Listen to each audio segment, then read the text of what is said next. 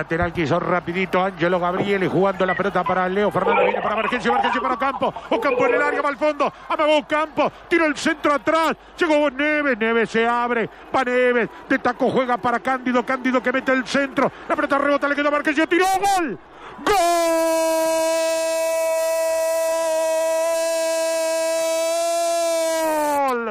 ¡Gol!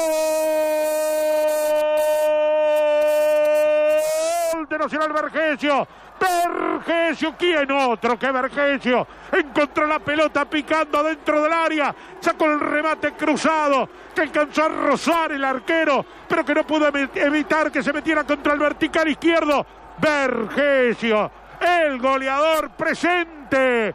Nacional 1, Progreso 0, minuto 37. 13 a 0. Si no lo sentís, no lo entendés. Todo empezó en una ida a fondo de Ocampo por la derecha, pero termina en un error defensivo. O sea, hay una buena elaboración de la jugada, hay paciencia en Nacional para circular el balón ante la imposibilidad de generar el riesgo, pero después termina rebotando en Romero en la espalda de Romero, que tiene un gesto muy humano, pero muy poco de un zaguero central. Se da vuelta cuando un jugador rival va a amaga patear la pelota. Al darse vuelta, le rebota casi en la cola, le queda servida, servida a Vergesio, que define muy bien contra el palo y a cobrarlo. Aprovecha Nacional arriba. Y apareció el capitán de Nacional, como había aparecido en el último partido de los tricolores acá en el Paladino. Gol de Gonzalo Vergesio que se pega en el escudo, que lo abrazan sus compañeros. El cuerpo técnico tricolor le dice, dale, dale, dale, seguimos. La bronca de Maximiliano Viera, el entrenador de Progreso, y pide que por favor que marquen y que no dejen a Ocampo tan solo. Ahí va sacando la pelota Cándido. Cándido la juega para Fernández. Fernández que arranca, levanta la vista, mete buena pelota para Neves, la bajó en el pecho, le quedó a Fernández, tiró, pegó en el palo, la busca Fernández otra vez, gol, gol.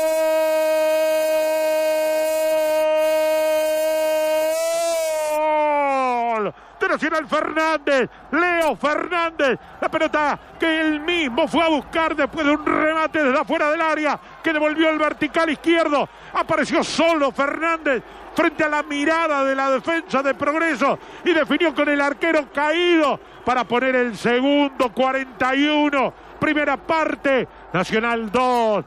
Progreso 0, Fernández. 13 a 0. Si no lo sentís, no lo entendés. Te lo decía, Nacional estaba envalentonado, tratando de aprovechar el viento a favor, el impulso del gol y la recta final, y lo hizo, ¿eh? Muy rápido. Al minuto de ese comentario llegó el segundo, que además tiene primero una enorme atajada de Formento, porque si no era gol directo de Fernández, y después uno tiene ese reflejo de, pero pará, ¿está habilitado? Sí, está habilitado porque es el mismo. El que pateó, el que va al rebote. Entonces, no hay offside para juzgar. Nacional gana 2 a 0. En cuatro minutos empezó a resolver una tarde que había arrancado complicada. Lea Fernández la siesta que durmió Progreso. Pateó Fernández, agarró el rebote, pone el 2 a 0 para Nacional. La bronca de los del gaucho del pantanoso Formento que rezonga Andrada. Andrada que rezonga Barbosa. Asconegui que los rezonga a todos. Ahora amonestado Danilo Asconegui. No, lo que te decía, hablaba con alguien del cuerpo técnico entre semanas por el nivel de campo y me decían, está insoportable. Insoportable. Goles argentinos en la primera parte. Está ganando Nacional 2 a 0 en el Paladino sobre Progreso que viene a buscar la pelota con Fernández. ¡Tiró! ¡Gol! ¡Gol!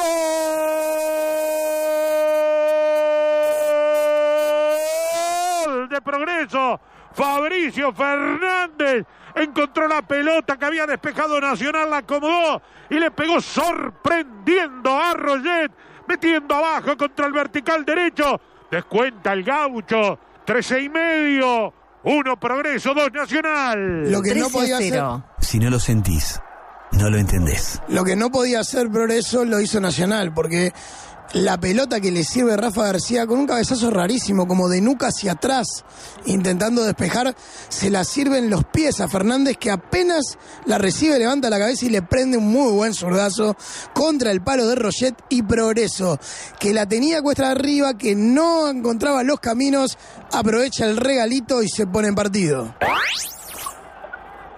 y miran todos para los accesos. ¿Por dónde venía ese gol? Que no que se una discusión bastante fuerte, ¿verdad? En el campo con el asistente va a ser amonestado, el número 7 de Nacional, que se quedaba mirando, ¿no? Con Rafa García en esa jugada, como diciendo, pero Rafa me la diste mal, y Rafa del Liceo Campo, pero ni siquiera vos corriste a apretarlo, que contó progresos, se caía de a poquito el ambiente de acá, eh, siguen protestando los jugadores de Nacional el campo, de como que le, le, pegaron en, la nuca, no lo dio así el árbitro, fue amonestado el número 7 de Tricolor, Verseche que le dice a Ocampo, tranquilo Brian, tranquilo, cuando el frío aumentaba, se pone caluroso el paladino.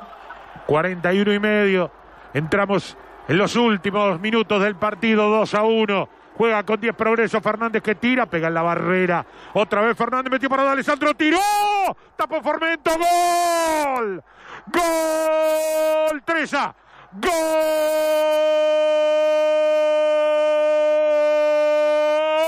de Nacional. Treza. Encontró el rebote tras el remate de Alessandro. Y marca el tercer y cierra el partido. Minuto 42, segundo tiempo. Nacional 3, Progreso 1, 3 a 13 a 0. Si no lo sentís, no lo entendés. Ahora sí, después de desperdiciar varias oportunidades, Nacional termina liquidando el partido con un gol de Treza, de Treza, perdón, pero otra vez con una muy buena participación de Alessandro, ¿eh? que le dio muy bien a la pelota de primera, una pelota que venía picando mal además, le dio de zurda de primera y terminó generando el rebote de Formento para liquidar el partido. Nacional había tenido buenas chances de liquidarlo, al final logra se llevará tres puntos de la teja importantes para el arranque del torneo. Y el grito de desahogo del banco de suplente de Nacional y de un banco lujo por ese gol de Treza que no solo corrió para hacer el gol, corrió también para festejar y sigue corriendo porque se viene Nacional.